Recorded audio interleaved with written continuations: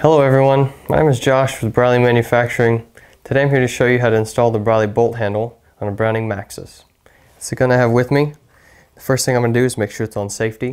So I'm going to make sure that there's no red ring showing. I'm going to push the safety across.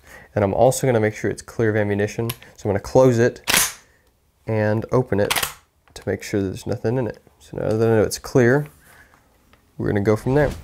In order to remove this bolt handle, I'm going to take my fingers and I'm going to pinch the bolt handle and pull it perpendicular to the rest of the receiver. So I'm going to get my fingers under it and pinch and pull. And then I'm going to take the new bolt handle and the notch is going to fit towards the back. So it's going to slide in just like this. And you push until it clicks. And then it's ready to roll. Thank you so much for watching. If you have any other questions, please email us at smp at or you can call us at 713 932 6995 or 1 800 331 5718. Thank you.